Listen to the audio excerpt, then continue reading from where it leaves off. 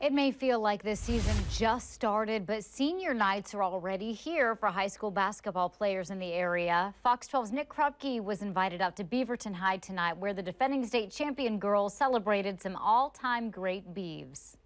Let's really be aggressive, great hands, great defense, okay? Have fun. Friday night saw a bittersweet send-off for the senior six at Beaverton High.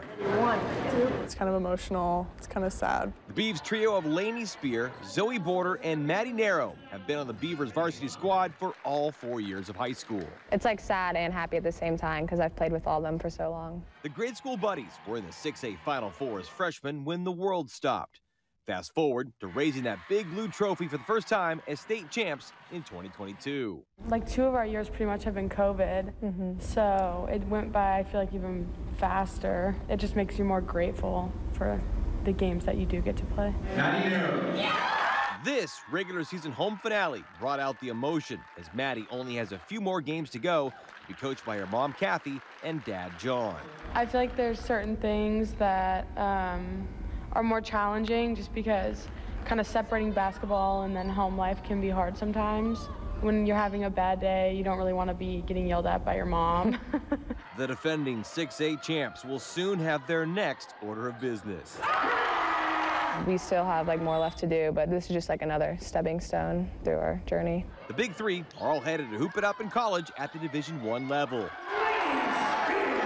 Well, me and Maddie will play yeah. for league. While Maddie's big sisters, Mary Kay and Mackenzie, are both student athletes at Boise State, she is ticketed for Santa Clara. It felt like home, and so I decided as soon as I got off the plane.